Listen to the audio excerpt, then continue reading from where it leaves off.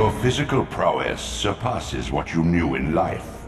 Even massive obstacles can be moved effortlessly.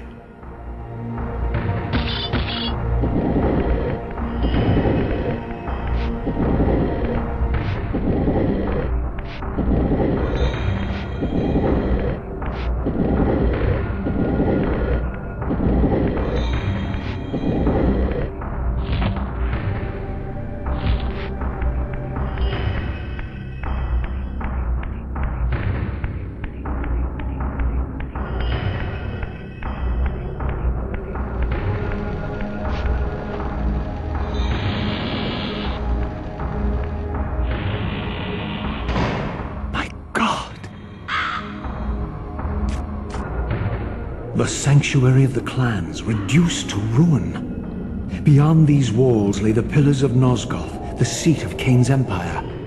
How humble it now appeared, collapsing into the dust of its former magnificence. And yet, I had only just emerged. In the instant between my execution and resurrection, centuries had apparently passed. This world is wrecked with cataclysms. The earth strains to shrug off the pestilence of Kain's parasitic empire. The fate of this world was preordained in an instant by a solitary man. Unwilling to martyr himself to restore Nosgoth's balance, Kain condemned the world to the decay you see. In that moment, the unraveling began. Now it is nearly played out. Nosgoth teeters on the brink of collapse. Its fragile balance cannot hold.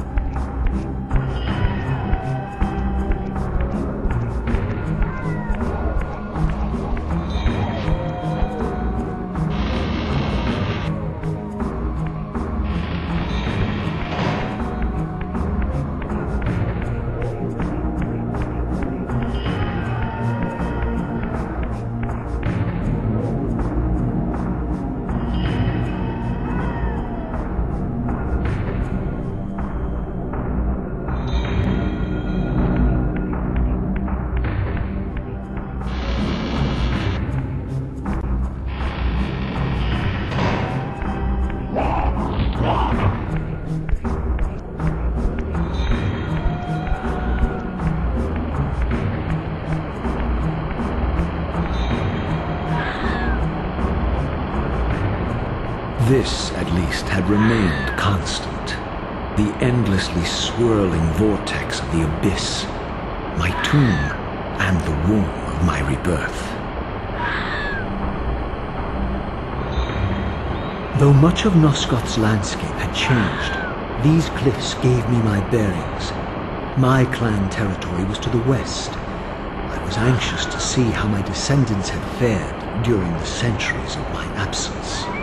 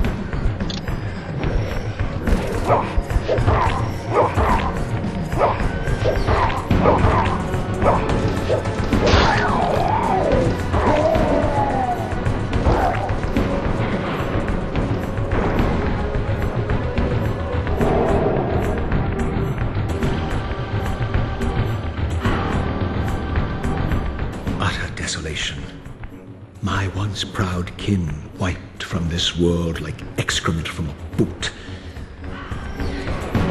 I knew the hand that wrought this deed.